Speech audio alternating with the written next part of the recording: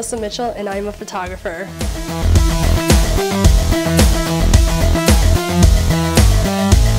My work style is bright and poppy colors with my landscape photography.